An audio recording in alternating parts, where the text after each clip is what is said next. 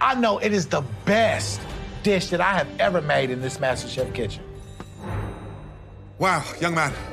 Describe that beautiful looking dish, please. It is a homemade potato soup with herb infused oil, crispy bacon, sour cream, homemade croutons, and chives. What's on top?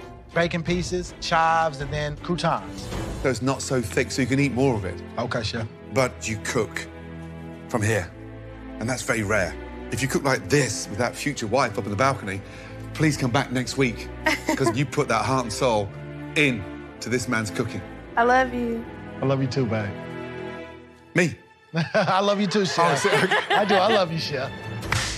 Great job, young man. Thank you.